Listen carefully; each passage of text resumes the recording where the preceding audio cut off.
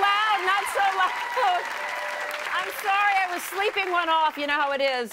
Today we're taking the show on the road because there's nothing like getting away during the holidays. Am I right? You love to do a little traveling, see the family.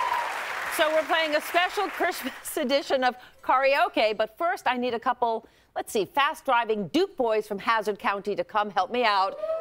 You know what we're talking about? Please welcome John Schneider and Tom Wopat.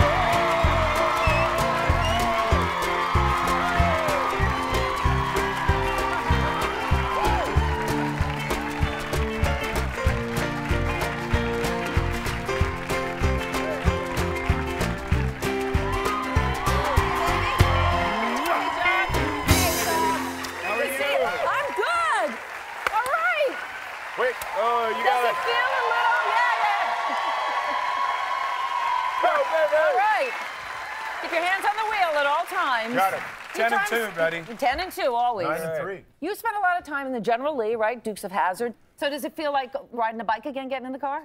Not exactly. Uh, Well, you know what? In your honor, I brought my Daisy Dukes, okay? We got them right oh, here. come on. Nice. Yes. And I didn't want you to drive off the road into a ditch, so I didn't put them on. Why is she not wearing them? That's my Because question. then we would drive into a oh, ditch. Trust come on. trust I'm just me. glad you're Trust not me. wearing them, Tom. But I mean, you know, you guys were heartthrobs. You still are, but everybody knows you guys, and a lot of the women Oh, here shucks. probably had your Oh, poster look in their that. bedroom, right? Oh my God. Did, did you get big heads over that? Do you do you remember though? I mean, that had to be kind of a heady thing to know that your poster was in the rooms of so many young girls. John was just a child at the time, Yes. so. Yeah, yeah. It was a great time. It was a three network world back then. So, Yeah, uh, Right. We had a blast. I got six brothers, and, and John I count as my seventh. Oh, oh, that's so lovely. That's, true, lovely. Tommy.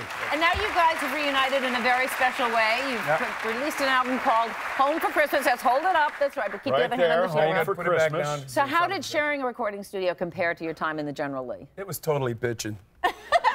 we had a great time. I'd say totally on TV. We had a great time.